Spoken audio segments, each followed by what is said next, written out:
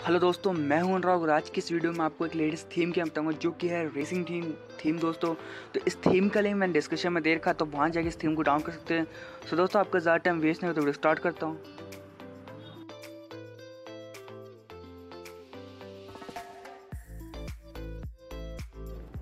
तो दोस्तों, सबसे पहले आपको क्या करना है कि आपको डिस्क्रिप्शन में दिए थीम लिंक पे क्लिक करके जो थीम है हमारी रेसिंग थीम इसको आपको डाउनलोड कर लेना है। इसके बाद आपको ई एस फ़ाइल एक्सप्लोर को ओपन करना है। तो दोस्तों, इससे पहले कि मैं बता देता हूँ, अगर आपका जो आई थिंक वर्जन है वो 2.5 है बेस वर्जन है तो आप डायरेक्टली या थ्री है तो आप डायरेक्टली अप्लाई कर सकते हैं। अगर आपने अपडेट कर रखा है तो आपको ई एस फ़ाइल एक्सप्लोर की ज़रूरत पड़ेगी। और किस तरह से करना मैं बता देता हूँ। इसमें देख सकते हैं आप, आपको E S file explore open करना है। इसके बाद जाना जो थीम है, उसको आपको कॉपी कर लेना है यहाँ से, या फिर आप कट भी कर सकते हैं।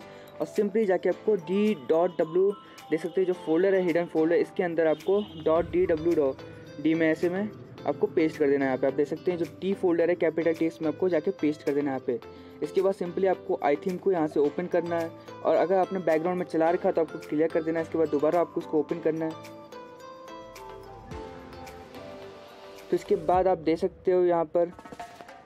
इसके बाद लोकल थीम में आपको जाना है। यहाँ पे थीम आ गई है दोस्तों। सिंपली आपको जाके इस पर अप्लाई कर देना देखिए आप देख सकते हैं यहाँ पे जो थीम शो हो रहा है थीम का जो प्रीव्यू है। यहाँ पे देख सकते हैं आप दोस्तों, यहाँ पे थीम अप्लाई हो रही है।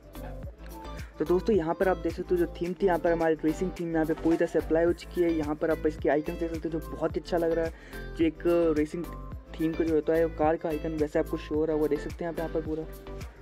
और दोस्तों, जब आप इस थीम को अप्लाई करोगे तो आपको ये बहुत ही अच्छी थीम लगेगी। आपके फ़ोन में यहाँ पे आप देख सकते हो, बिल्कुल थीम एक औसम लुक यहाँ पे दे रहा है यहाँ पर। इसके बाद हम आते हैं स्टेटस बार में तो आप देख सकते हो नेटवर्क आइकन और बैटरी आइकन दोनों चेंज है।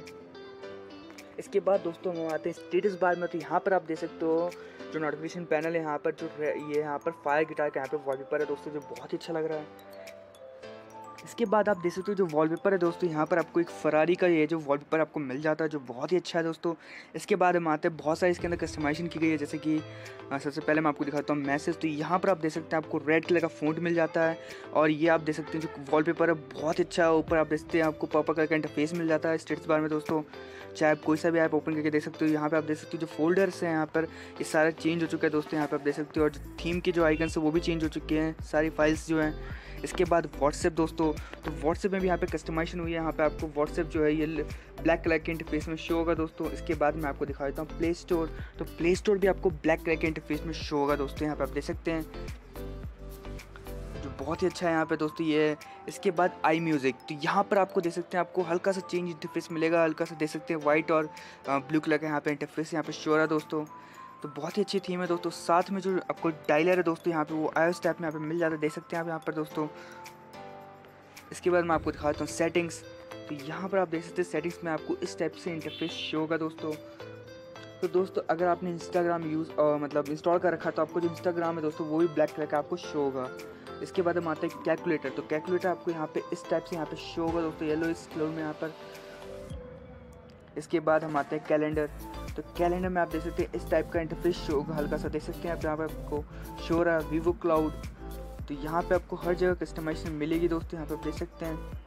क्लॉक में भी आप देख सकते हैं, यहाँ पे बिल्कुल आपको चेंज सब मिलेगा, देख सकते हैं आप, जो वर्ल्ड क्लॉक है, बिल्कुल चेंज हो चुका है दोस्तों। तो ओवरऑल ये बहुत ही अच्छी थीम है दोस्तों, बहुत ही अच्छी तरह से इसका कस्टमाइज़ किया मैंने। इसके बाद मैं आपको इसकी लॉक स्क्रीन दिखा देता हूँ। यहाँ पर आप देख सकते हैं इसका जो लॉक स्क्रीन है दोस्तों, बहुत अच्छा है यहाँ पे। ये वॉच या वॉच कार का वॉलपेपर है यहाँ पर। तो ओवरऑल ये थीम बहुत ही अच्छी है, इसका लिंक डिस्क्रिप्शन में तो वहाँ जाकर इस थीम को डाउनलोड कर सकते हैं। अच्छी लगी तो प्लीज़ चैनल सब्सक्राइब कर देना, वीडियो को लाइक दोस्तों थैंक यू गाइज़